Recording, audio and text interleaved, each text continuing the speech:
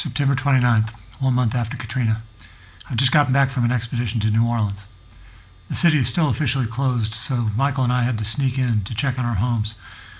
Michael took a great picture of me standing next to all the soggy, nasty junk we pulled out of the flooded lower floor of our house. Against all odds, we were able to salvage this, and this, and this, and this. Now I'm back in Bloomington, Indiana, where we're evacuated, where we're renting a house, and Christy's already got a job here. But when will we be able to return to New Orleans?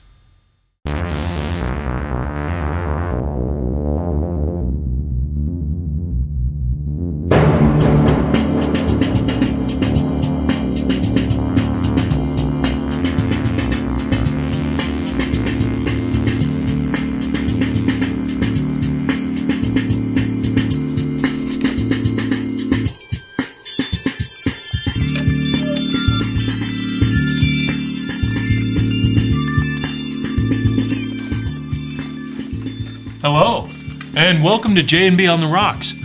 I'm Jay. This is a program that uh, began in a basement in Bloomington, Indiana, back in 1992. It's an independent television series. That's me on the left. I'm Jay, I'm your bartender. That's B on the right. He mixes the video. He mixes the drinks. He mixes the video. You know, a lot has changed since uh, those heady, reckless, drunken days of 1992. I moved out here to Missoula, Montana, um, where I live and have lived in that house all these years. And uh, B, well, he moved to New Orleans. And uh, I guess you kind of know what happened down there. Or do you? You know, a lot of uh, coverage has been focused on what the experience in New Orleans, the, the boondoggle, the debacle. But what have you really seen of that place since Katrina hit. Well, guaranteed you won't you haven't seen anything like what you're going to see today. This is a program in which we take a look at what happened in the 12 months since Katrina hit.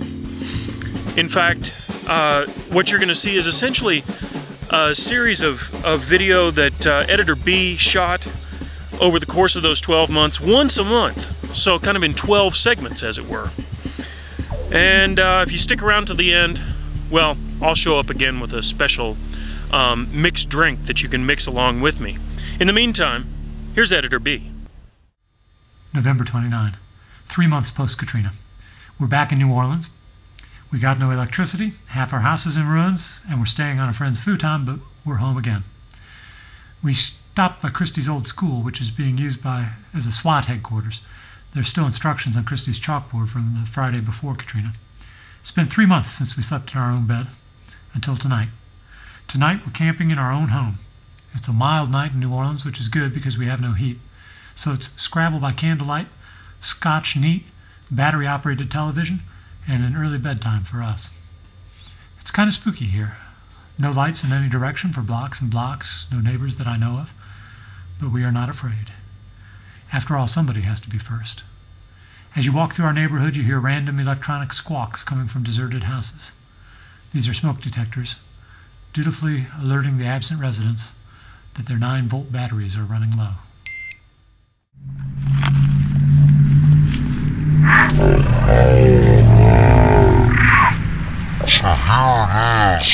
So here it is. So here it is. So here it is. So here it is. So here it is. Today is five months after Hurricane Katrina hit New Orleans. We're here in New Orleans, and as you can see, things aren't exactly back to normal yet, and they won't be for a long time. As you can see, this streetlight is still down. It was knocked down by the hurricane, and is still down now. Hey man, it's on. It's electricity. Uh, It's five months to the day, and electricity is still not like a universality. Neither is getting the mail. Neither is finding a doctor that's open. Neither is uh, actually the line at Taco Bell's 20 minutes long. Actually, you can place your order. That'll take you 20 minutes to get it. That's a Taco Bell. So, you know, where they have those sour cream guns. I heard some guy on the radio today saying that it might be um, you know, a few years before we start to see any real progress, and maybe 10 years before we wake up in the morning and don't think, how are we going to rebuild this city? In fact, I was thinking it might be the rest of my life. So, you know, I'm not complaining. 10 years would be pretty good. This is one of those big oaks that's come down. It looks like someone has sawed it a little bit, so Oh, there's there's evidence of man being here. You know, man versus nature. I mean, look at this. Looks like nature won today, huh? Too bad for you, man. Not today, man.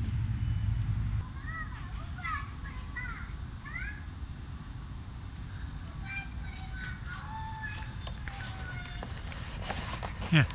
You see that street light up there? That's our street light. It came on when we had our electricity turned on in our house, which you see up there. See, see the pink lights in the window? That's our house, and we got our electricity turned on about a month ago, just before Christmas.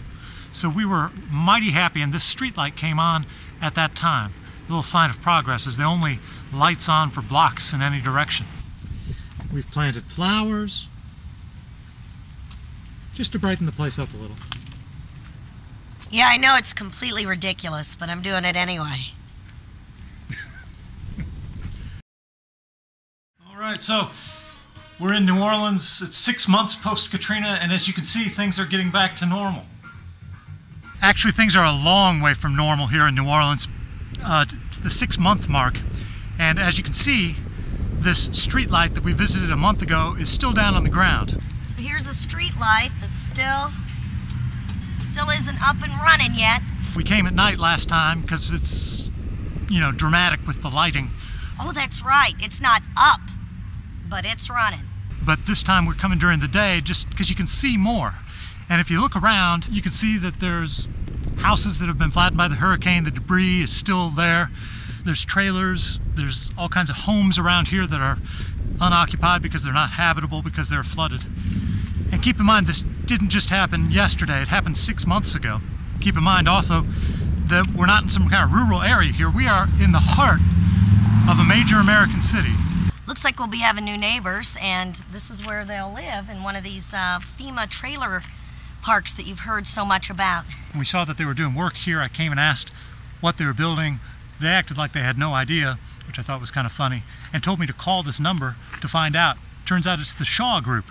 And uh, they let me know that, yes, it's going to be a trailer site. And the next day, boom, trailers. But they're still unoccupied at this point. Not sure what the holdup is exactly. Housing is the most critical need at the top of most people's lists, right up there with levees. Uh, housing. You can't bring a city back to life without people, and people need places to live. So that's why they put a trailer site up here. I think they're going to be building another one about another block in the other side of our house. Uh, we've been seeing the demolition of the old physician's hospital there. They fixing to bring it down. They also didn't seem to want me to videotape, but you know what? Screw them. This is our city, and we'll go around and take pictures and videotape whatever we like. Yeah, you heard? Just try shutting us down, Yeah. man. It's eight months post Katrina. And as you can see, they've actually done something with this street light that we keep coming back and checking on. They've disconnected it from the electrical system and, and they've kind of moved it to the side. But it's still just lying there, you know, on the ground. I don't really care about this street light. I mean, I'm not complaining about the fact that they don't have it up and running. Uh, to me, it's, it's more like a symbol of normalcy. There's a lot more important things that hopefully are being concentrated on or not right now uh, in New Orleans. Now, they're still finding bodies, in case you didn't know. There are still collapsed houses. At the seven, seven month mark, I went down to the lower ninth ward and took a look around down there. I was just so depressed, I, I didn't even make a video. There's still a massive lack of housing. There's still, I don't know, 100,000, 200,000 or more people displaced from New Orleans who have not been able to return home. Eight months. That's right. It's been eight months. That's right. Ocho. The trailer park here is all set up and has been set up for quite a while, it's still unoccupied. We, we filmed this at the six month mark, and it was ready. So, two months it's been lying fallow, if you will. I asked why the trailer park is still unoccupied after all this time. He said they're just waiting for clean water. The water apparently is not uh, safe to drink here, which concerned me a little bit because we live just half a block away and we've been drinking the water. Oh my God, is that why I've been having all that diarrhea? So, it's May 29th, nine months after Katrina made landfall in New Orleans. And, uh, well, you might wonder, how are we doing? And the truth is, I've really lost all perspective on, on what even is normal anymore. And to give you an idea why, I, I've come here to this little strip mall, rather close to where we live. And, uh, well, you can see the state of it here nine months post Katrina. So what we got in the strip mall is we got a hardware store that uh, is still boarded up, and I don't think it's ever going to reopen. We got a clothing store that uh, the lights are on, but the merchandise is untouched uh, since it was flooded nine months ago. And a Chinese restaurant that's a little worse for the wear. In terms of some of the other little uh, markers that we've been checking up on here in our little monthly updates, the street light is still lying down there on Jeff Davis. The trailer site near our house still seems to be unoccupied. While there's, I don't know, 100,000 or more displaced New Orleanians who are unable to return home because they have no place to live. There's still parts of the lower ninth ward where you can't stay overnight. And uh, they're still finding bodies. In fact, they just found a body of a, a man here uh, in my neighborhood when his house caught on fire. But he died during Katrina. So nine months later, that's where we're at. And if, as if all that wasn't enough, hurricane season starts June 1st. And are we ready? Well, the levees and the flood walls still need some work. The drainage systems are not at full capacity yet, so no, we're not ready. I don't want to bring anybody down, but that's just the way it is. Here we are at the 10 month mark of uh, Little Miss Katrina, and um, we are at the Lafitte Housing Project. And HANO, which has told me not to trespass, um, has just announced they're about to tear four of these projects down, uh, which is, I, I'm, you know, I don't know about that. It seems not like a good idea because they're still in relatively good shape. Uh, New Orleans still needs a lot of labor. People want to come back, but can't because they don't have a place to live, and you, got to get a job to get a, you know, the whole, the whole thing. And you can see these VPS uh, big steel plates were added. Now, oddly enough, those were added two months after, you know, the storm. You know, hey, let's keep these people out. Not to mention the name of the company is Access Denied, which is very strange. Anyway, so, you know, it's like, uh, I don't know, the man's out to get him or something. It's really not cool. But, um, so here we are. It's about to storm uh, which you may or may not be able to hear in the background, which is good, oddly enough, we've been uh, suffering a drought, believe it or not, since Katrina. All right, well, um, thank you. I don't know why I'm bidding adieu. So it's 11 months today since Katrina hit New Orleans, and we're about halfway done with the renovation of our house. Uh, they've replaced a lot of termite damaged wood, almost the entire lower floor of the house, in fact. We've just had it replumbed. We're going to get it rewired. So I think that all things considered, we're going to be okay, you know, personally. But we're worried about the city uh, and our neighborhood. And so we've been trying to be more involved with the neighborhood uh, recovery planning and, and so forth, especially these last couple months. And it's kind of been running me ragged. Very few of our neighbors actually have been able to return. Most of the uh, properties around here are rental properties, and a lot of these landlords own a lot too many places. They're stretched too thin, and they can't get them fixed up, and so people aren't able to return. Also, right here across the street is uh, where my neighbors used to live, And uh, my neighbors were uh, five little chil- children in this house, and they came over almost every day for uh, band aids and homework help and uh, bananas and so forth. So, one of the things we did was we made a garden, and um, it unfortunately post Katrina it didn't uh, make it. But look here, this actually survived the, the four o'clock. Anyway, so I made a new garden, and um, it's doing nicely. I've got uh, cosmos, pentas. Um, I don't know what those are exactly. Anyway, I did some uh, milkweed for my garden, some transplants, so the girls can uh, watch the uh, caterpillars. Now, I hope the girls are coming back. That's the that's the plan. But uh, this is this is happening quite slow. I heard someone uh, cough the other day while I was gardening, so I don't know what's going on in there. But anyway. All right. I don't- want to get my throat slit. So it's been one year since Katrina, then one year since our, the levees failed, one year since our neighborhood flooded, 12 months. And uh, we're still facing a lot of challenges, you could say. For example, there's a, uh grocery store there behind me. Hasn't been cleaned out since the storm, and uh, it's been overrun by rodents, and it's really nasty actually.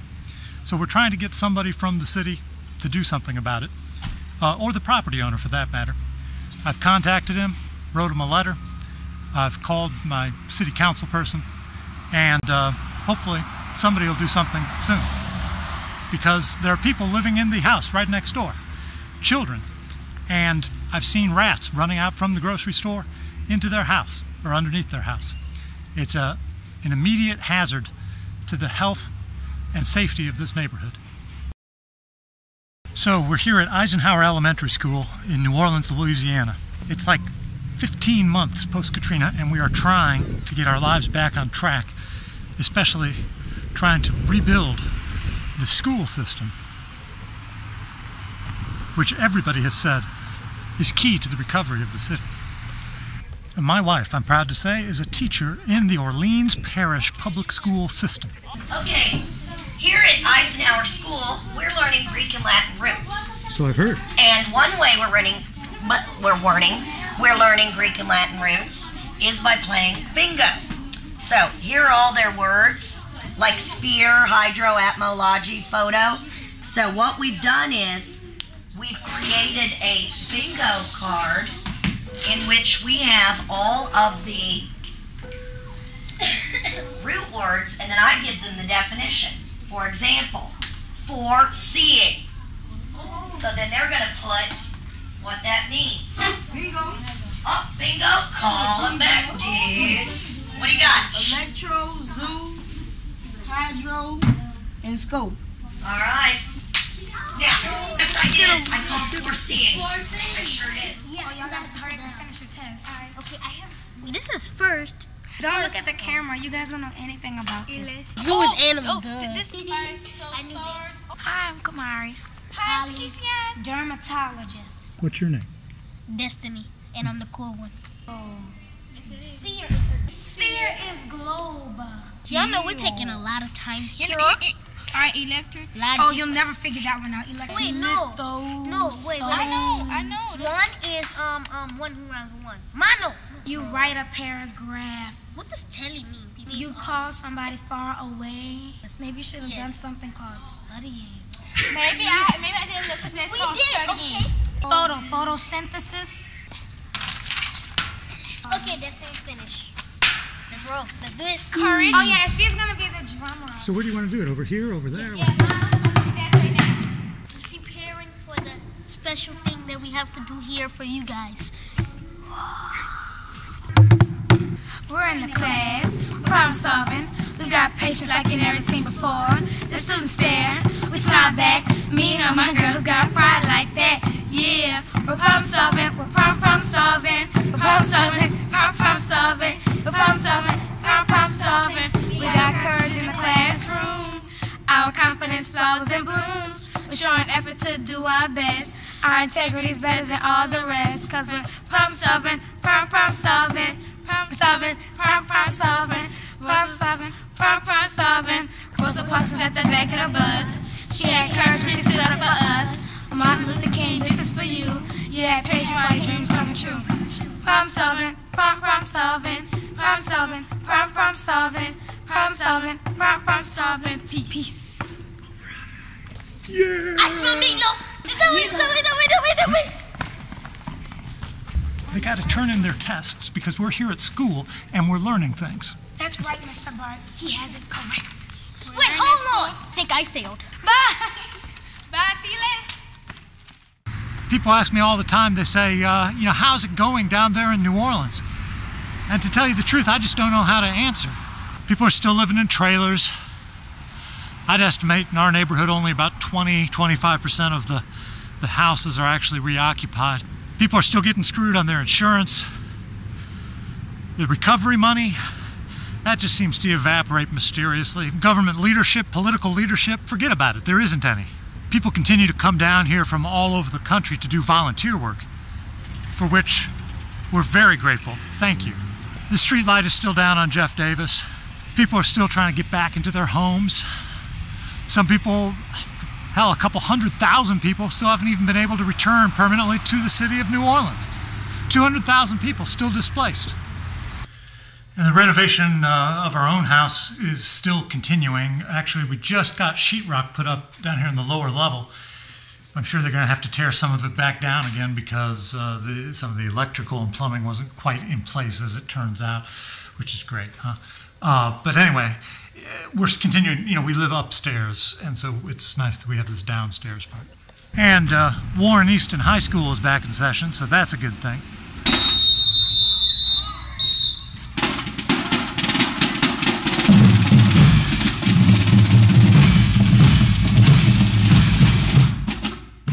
Every day, we see good things and bad things, and it's hard to say where it's all headed. If it's headed in the right direction or the wrong direction overall. I just don't know. It's confusing. It's enough to uh, drive a man to drink. And in fact, I think it's time that we have a drink, because this is going to be my final monthly update, so I could use a drink. Barkeep? We're going to mix a drink. We're going to mix the Sazerac, or the Sazerac cocktail. This is supposedly the oldest cocktail uh, in American history. You can kind of tell by the fact that, you know, it's got some of this in it. This is Old Overholt. Uh, it's a straight rye whiskey, and you can see that this guy, I mean, he's he goes way back. So you want to add, uh, we've got a cocktail shaker here that's got um, some ice in it. You want to add about an ounce and a half of this in there. Looks about right. Um, then the next thing that you want to add, this is Peychaud's bitter, or Peychaud's, or Peachauds, or something like that. It's a it's an aromatic cocktail bitters that was uh, invented in New Orleans. Um, you know, they used to make these uh, back in the 1800s as kind of like a stomach medication. It's basically just bitter flavored alcohol. Um, and so we're just going to add a little bit, like supposedly three dashes, which uh, that might have been more than that. I couldn't tell. I'm already too drunk. Then, uh, so you want to stir this around. Um, maybe put the lid on it. Oh, but before you do that, you're supposed to add some sugar. You can tell that I'm uh, not actually from New Orleans. Um, but, uh, you know, I'm doing this in honor of our um, southern brethren uh, who have suffered so much. Sugar, that's about uh, a teaspoon there. Um, and then we want to shake it around uh, a good bit. And then you're going to want a, a, chilled glass. Now, the way that I did this was uh, I actually put it in the freezer for about a half an hour, and I also put some ice in it so that it get extra cold. I'm going to get rid of the ice because uh, it's it's a mortal sin to um, to actually serve this drink over ice. It's just supposed to be chilled. Now, this drink originally was made with absinthe. It was a licorice flavored um, alcohol that was popular in the late 1800s. Unfortunately, it was outlawed because it had wormwood in it, which kind of makes you go crazy. So instead, we're stuck with this stuff. This is Pernod, which is just basically licorice flavored alcohol that tastes like shit. But anyway, it doesn't really matter how much you put in here because what you're going to do is you just you just take it uh, in the glass and then you swish it around to get it on the on the sides of the glass. You see uh, my technique. That's similar but different from the rocks finger technique in which you would stir it with your finger. So then you just want to dump this out. You actually don't drink this, believe it or not, um, which is actually kind of good if you ask me because I hate licorice.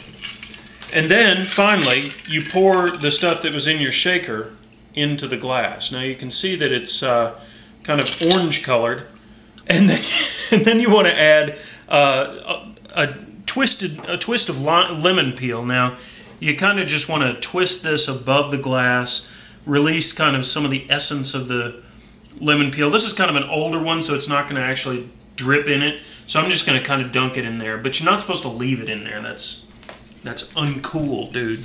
Because you don't want chunks. You just want something that you can sip.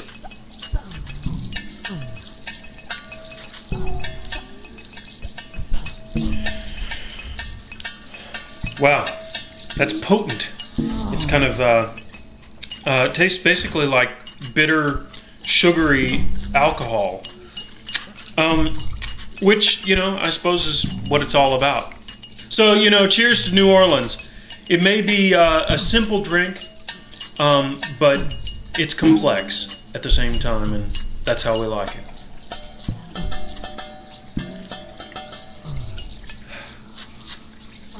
Smooth.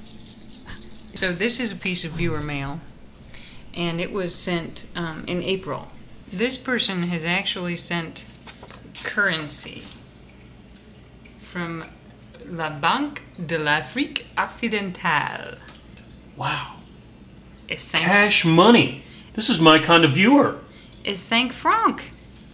You know, I prefer prefer American dollars, but hey, any kind of money will do, especially such attractive money. Yeah, that's pretty cool. Right. The address at the bottom of the screen has absolutely nothing to do with the request for money that you may have heard recently. You can ignore it. The um, note that came along with the cinq franc goes as such. And I apologize for any mispronunciations. This came from an anonymous viewer. There's no return address or name, so there's no one to tell me how to pronounce this. Saba Sibi Saba Umgoa Bawana Guna Zona Eco Eco and the Lion drinks Bud Light. Rocks rocks. Me make 'em contribution. So um thank you for the cinq franc. And the penetratingly meaningful letter. Right. Yeah. Saba Sibi Saba to you as well. Oh, remember we were doing bloopers? We were like, oh yeah, bloopers. Bloopers.